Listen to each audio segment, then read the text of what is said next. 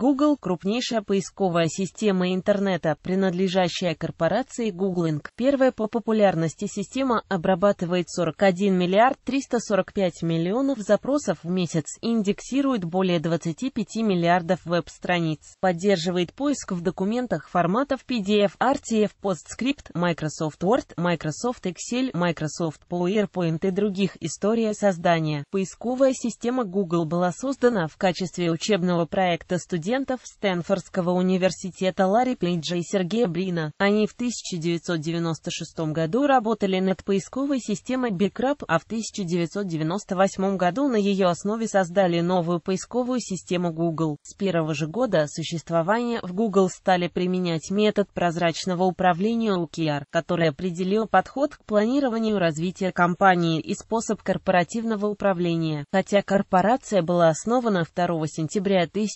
1998 года, а домен google.com зарегистрирован 15 сентября 1997 года. Поисковик иногда отмечает свой день рождения и в другой день, как 7, так и 27 сентября. Слово Google произошло от искаженного googol, название числа 10 в сотой степени индексация сайта. Поисковый робот Google имеет user agent Googlebot, который является основным роботом, сканирующим содержание страницы для поискового индекса. Помимо него существует еще несколько специализированных роботов. Googlebot Mobile робот, индексирующим сайты для мобильных устройств, ноутбуков. Google Search Appliance crawler, поисковый робот нового аппаратно-программного комплекса Search Appliance. Googlebot Image робот, сканирующий страницы для индекса картинок. Media Partners Google робот, сканирующий контент страницы для определения содержания Actions. Adsbot Google робот, сканирующий контент для оценки качества целевых страниц AdWords. Проблемы с авторскими правами. Каза и церковь саентологии использовали закон об авторском праве в цифровую эпоху, чтобы потребовать от Google удалить ссылки на материалы на их сайтах, якобы защищенные авторским правом. Google по закону обязан удалить эти ссылки, но вместо того, чтобы убрать результаты поиска, предпочитает связать результаты с жалобами, которые подали эти организации. The New York Times жаловалась на то, что кэширование их содержания поисковым роботом, особенность,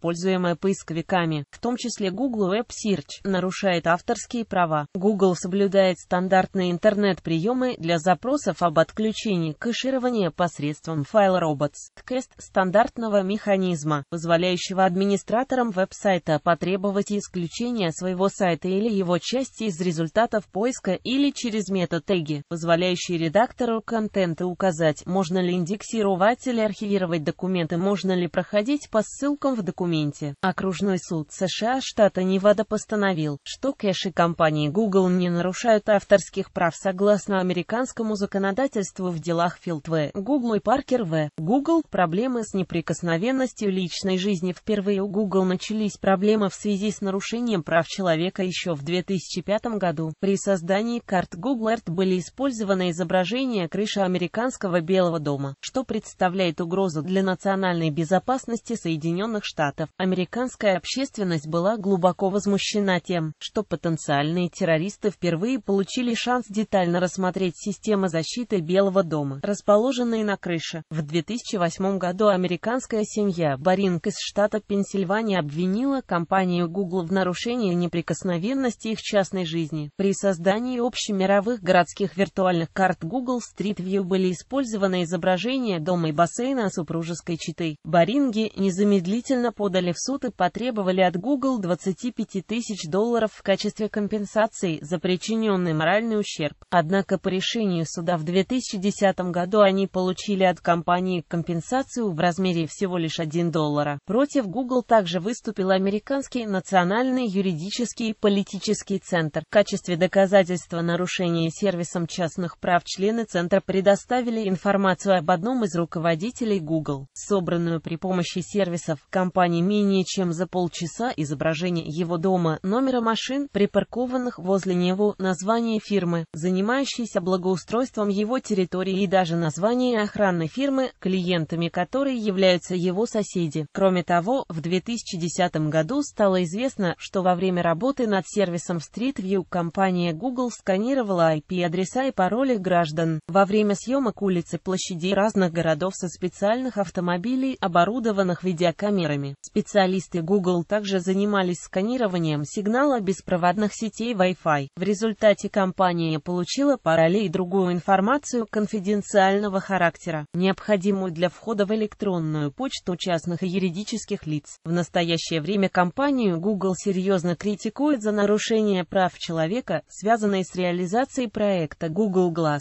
Ношение очков Google уже запрещено в американских кинотеатрах, казино и стрип-клубах. Их владельцы опасаются, что посетители в таких очках будут записывать происходящее на видео. Кроме того, решение о запрете очков в скором времени могут принять американские банки и дирекции парков, выдача данных пользователей. В 2012 году Google выдала властям США данные нескольких работников Wikileaks, содержание почтовых отправлений, метаданные, информацию о подписках и другие данные только через два с половиной года уведомила пользователей об этом. Летом 2013 года благодаря бывшему сотруднику американских спецслужб Эдварду Сноудену стало известно о том, что американское правительство платило Google, Yahoo, Microsoft и Facebook миллионы долларов за раскрытие информации об интернет-пользователях. Расходы, согласно документам, были покрыты подразделением Агентства национальной безопасности, известным как отдел по работе со специальными источниками. В ответ на это главный юрист Google Дэвид Драмонт опубликовал в блоге компании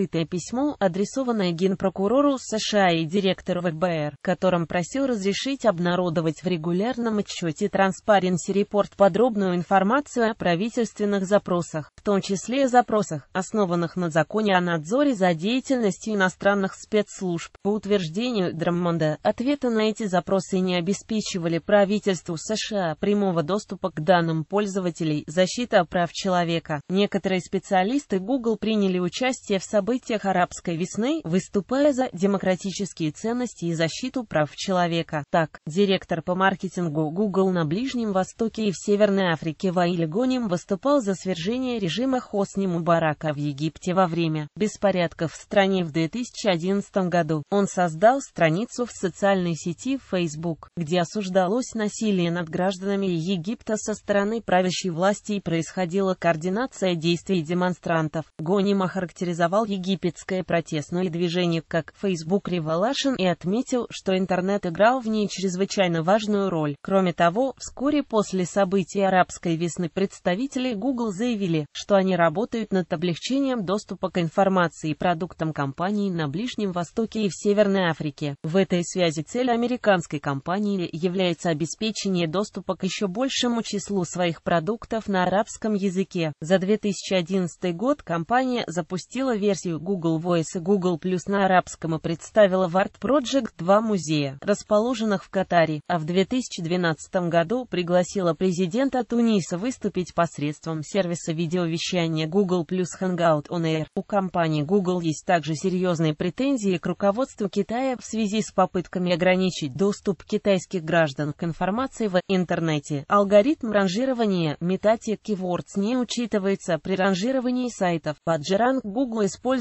алгоритм расчета авторитетности PageRank. PageRank является одним из вспомогательных факторов при ранжировании сайтов в результатах поиска. PageRank не единственный, но очень важный способ определения положения сайта в результатах поиска Google. Google использует показатель PageRank, найденных по запросу страниц, чтобы определить порядок выдачи этих страниц посетителя в результатах поиска. Пузырь фильтров поисковые запросы, синтаксис запросов. Интерфейс Google содержит довольно сложный язык запросов, позволяющий ограничить область поиска отдельными доменами, языками, типами файлов и т.д. Например, поиск Intitle Google сайт. Wikipedia.org выведет все статьи Википедии на всех языках, в заголовке которых встречается слово Google. Мощный язык запросов в руках хакеров может быть использован для исследования веб-сайтов на уязвимости. Поиск в найденном. Для результатов поиска Google ранее предоставлял возможность повторного поиска, что позволяло производить поиск более детально. Для более детального поиска пользователям необходимо было указывать дополнительные параметры, по которым происходил отбор результатов, что позволяло сразу отобразить не только запрос, но и контекст, где он применяется. Данная возможность упрощала процедуру поиска, исключив необходимость в открытии каждого результата. В Вики-поиск поисковая технология, позволяющая пользователю настраивать результаты выдачи по поисковым запросам. Пользователь может может удалять результаты из списка и поднимать вверх списка. Технология была запущена компанией Google весной 2009 года и проработала до осени. В настройках поиска осталась настройка для включения вики поиска, но в выдаче соответствующие элементы управления отсутствуют. Другие поисковые системы подобной функциональности пока не предоставляли голосовой поиск. 22 сентября 2010 года компания запустила голосовой поиск в России. Чтобы осуществить поиск, необходимо нажать в телефоне кнопку рядом со строкой поиска и произнести свой запрос. Телефон отправит ваш голос на сервер, и браузер выдаст строку с распознанным вашим запросом и результатами поиска по нему. С 2014 года доступна активация голосового поиска без прикосновения к экрану. На телефонах с установленным Android не ниже версии 4.3 достаточно сказать «Ок, Google», чтобы активировать функцию «Логотип Google». Текущий официальный логотип Google действует с 1 сентября 2015 года. В отличие от прежнего логотипа, в новом используется шрифт без засечек, а также более мягкие цвета. По случаю праздника или круглой даты какой-нибудь широко известной личности стандартный логотип Google некоторых или реже у всех региональных доменов может меняться на праздничный, имеющий определенную тематику, смысл, но в стиле Google. Например, по случаю дня рождения Наполеона Орды 11 февраля 2010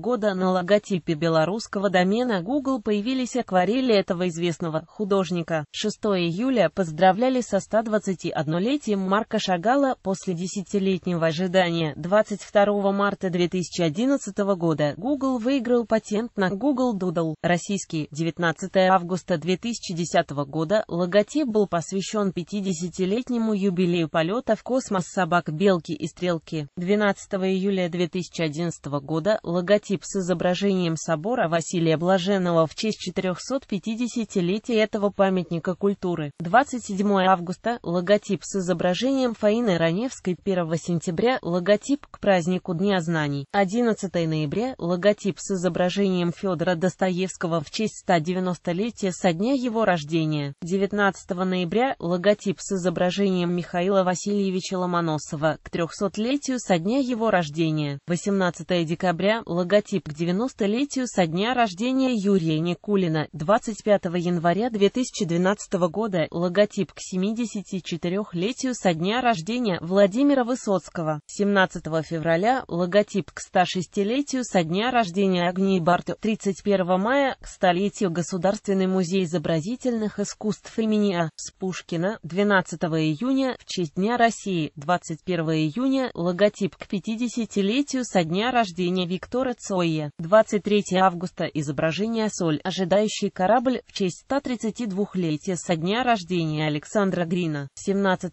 сентября к 155-летию со дня рождения Кая Циолковского. 1 мая к празднику весны и труда. 7 февраля 2014 года к открытию 22 Олимпийских игр в Сочи на фоне флага ЛГБТ пиктограммы шести олимпийских видов спорта интерактивные. Игра Pac-Man 9 июня 2011 года логотип, посвященный 96-й годовщине со дня рождения Леса Пола. Лого предоставляет возможность генерировать звуки, записывать и проигрывать мелодии, передавать записанное. 15 июня интерактивный логотип, демонстрирующий фазы лунного затмения. 5 сентября логотип ко дню рождения Фредди Меркьюри, в котором показан мультклип, созданный компанией Google на песню Don't Stop Em Now группа Queen 23 ноября к 60-летию первой публикации Станислава Лема. 31 октября в честь праздника Хэллоуин в ускоренном темпе на видео показано, как группа сотрудников Google вырезает логотип компании из шести больших оранжевых тыкв. 9 апреля 2012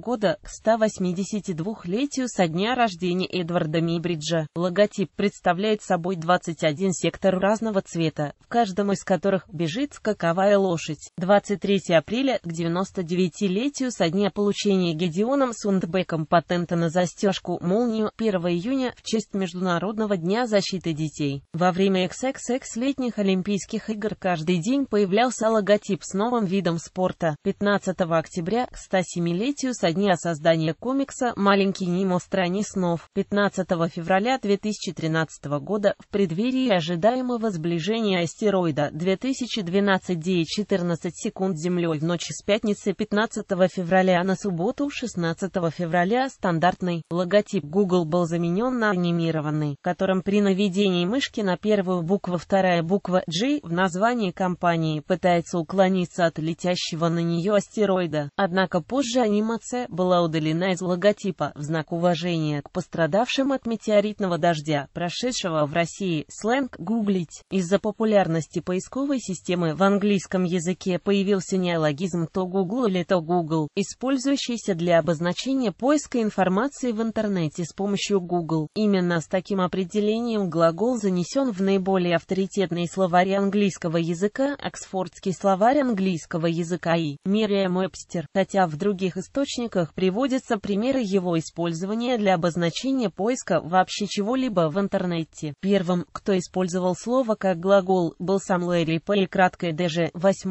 июля 1998 года подписавший одно из своих сообщений для списка рассылки «Keep Fun and Keep Googling». Американское диалектическое сообщество назвало глагол «то Google» словом десятилетия. Опасаясь возможной утраты товарного знака, Google не одобряет использование глагола Google, особенно когда подразумевается поиск в интернете вообще. Например, 23 февраля 2003 года компания направила письмо «Прекратите воздерживаться» Полу Макфедрису, основателю OrdSpy сайта, отчлеживающего неологизмы. Также в своей статье в Вашингтон-Пост Фрэнк Аренс обсуждал письмо, полученное от юристов Google, иллюстрирующее правильное и неправильное употребление глагола Google. В ответе на эту статью лексикографы словаря Merriam-Webster заметили, что записали глагол то Google со строчной буквы, но для обозначения поисковой системы Google употребили заглавную букву. Впрочем, редакторы Оксфордского словаря не стали сохранять обе версии для истории. В 2006 году Google выпустил публичное заявление с требованием использовать слова, образованные от Google, только когда речь идет о Google Inc. или его сервисах.